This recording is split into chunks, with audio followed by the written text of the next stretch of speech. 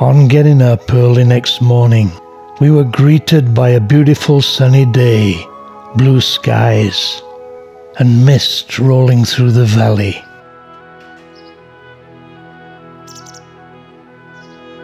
Time for breakfast. Outside was an artist's paradise, with the clouds floating through the hills, as though happy to enhance this amazing scenery. I can tell you that the camera in no way does it justice. The hostel has several chalets, each with three or four bedrooms, showers and laundry room below, and lounge, dining room, and small kitchen above. We were soon enjoying breakfast that we had bought on the way, and a great view out the window. Then the eagerly anticipated and world renowned mountain railway. Starting point right next to the fjord, the steepest railway in Europe.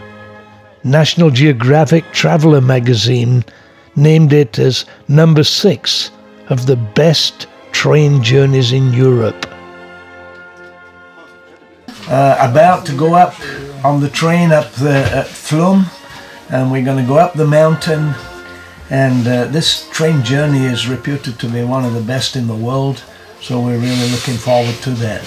The museum is a video of the trip if you can't make it. And there are other attractions and shops there. I still remember the feeling I had looking out the window, seeing the cloud in the valley, the sun peeping through above, and knowing this would be special. We're soon on our way. The Flam Railway was built to be a link between the main Oslo Bergen Railway and the ships that sailed into the fjord. Many tourists still take the Bergen train from Oslo and then do a round trip down to Flåm, returning the next day.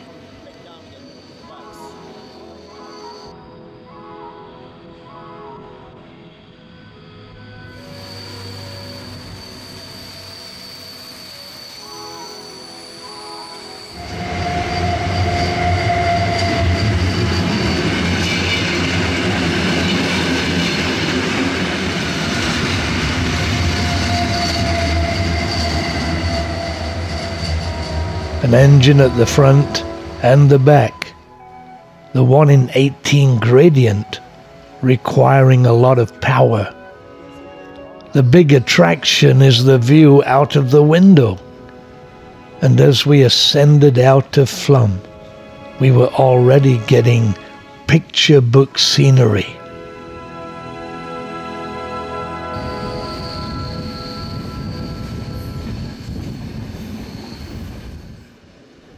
And the glacial river still snaking its way down. This is the second train of the day, and it's relatively empty. When the afternoon cruise ships come in, it's very busy.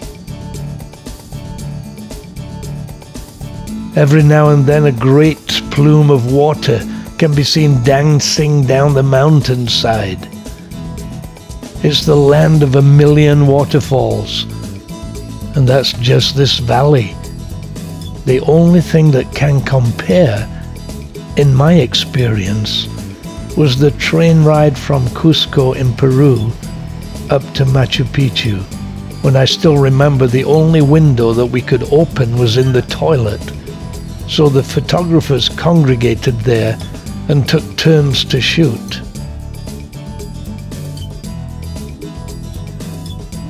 Halfway up, we pass the down train coming down. Then off we go, up, up, up.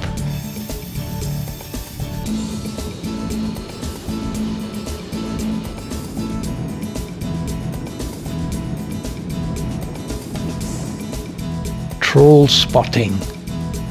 Ah, there's his ladder. Above is the railway track that will pass in a few minutes. And then the famous Kjosfossen waterfall, a free fall of 305 feet.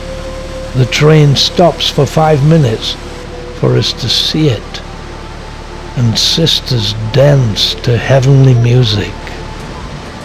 Wow.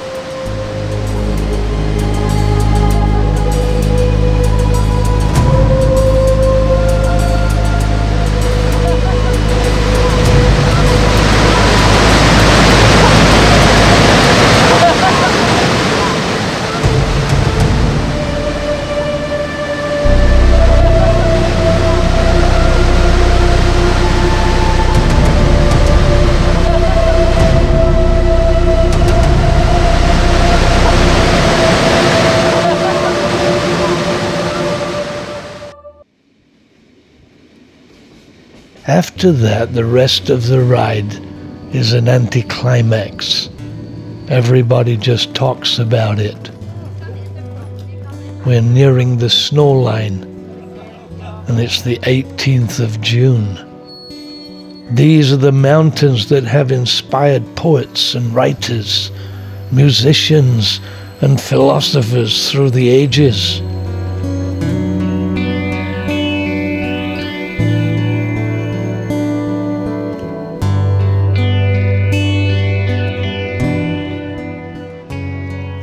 Finally reach our destination.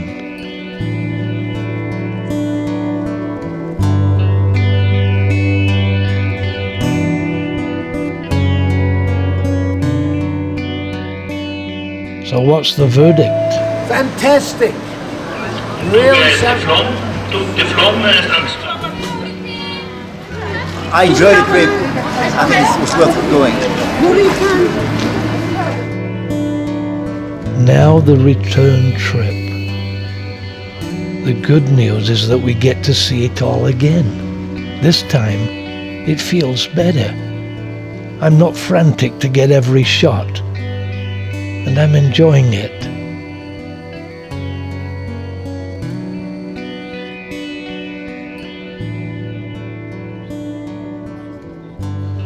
The troll is nowhere to be seen. Chatting to the other passengers. This couple actually lives here and were very helpful explaining things to us.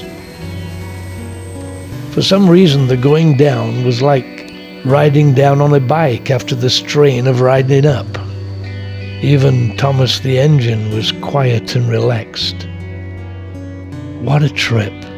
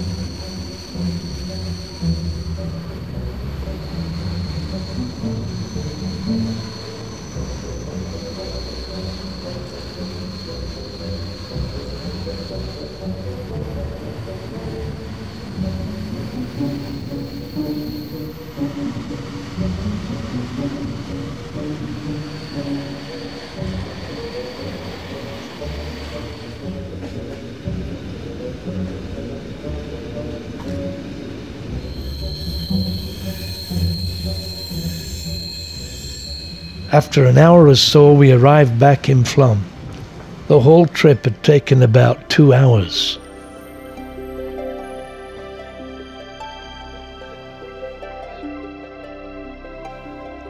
The cruise ships moor up on the fjord about a hundred yards from the train. One of the great joys of the land is its accessibility, and a great way to see it is a cruise. Flåm is a must visit place.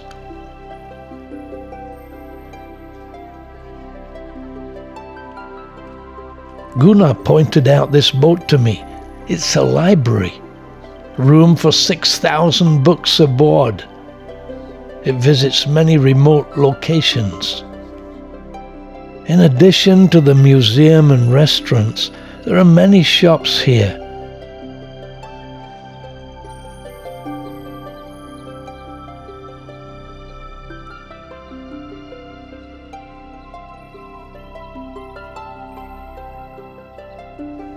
Even Amal, this troll, found work as a guard.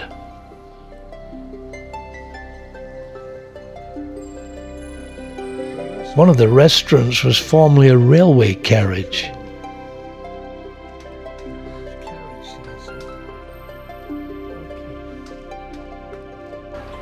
So back to pick up our things and continue the adventure. We wanted to see the church there, but it was being renovated, so we got to see the outside. the house with a grass roof.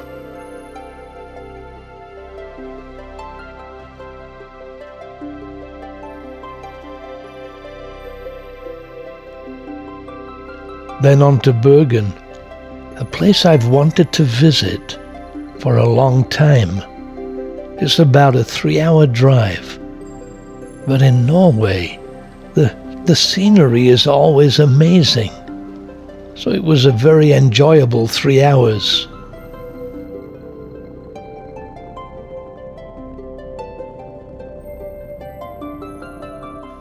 We stopped in Voss for a coffee at the famous Fleischer's Hotel, a beautiful 19th century hotel in the Swiss style with plenty of character and good coffee.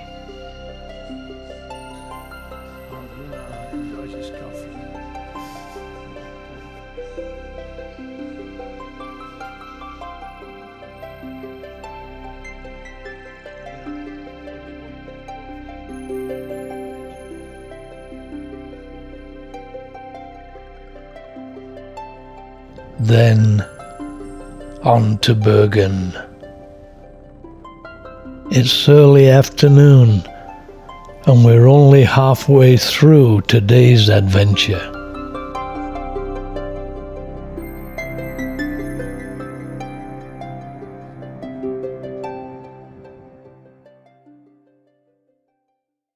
Next time, exploring Bergen, a World Heritage City, the gateway to the fjords, the waterfront, the Bryggen, the funicular railway, Old Bergen, and what's to eat here.